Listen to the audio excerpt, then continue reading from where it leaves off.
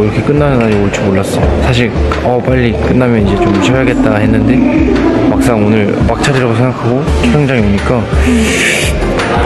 기분이 이상하다.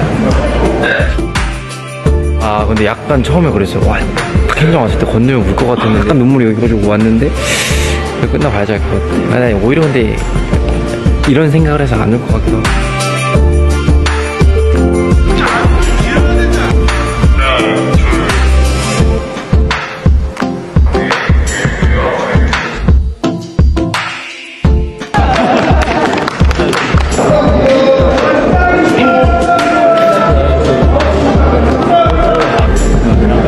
드디어 진짜로 끝이 났네요.